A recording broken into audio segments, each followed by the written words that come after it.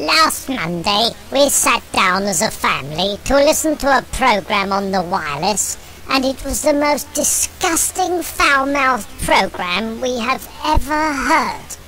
We can't wait until next Monday between 10 and 12 on 103 The Eye to be disgusted again.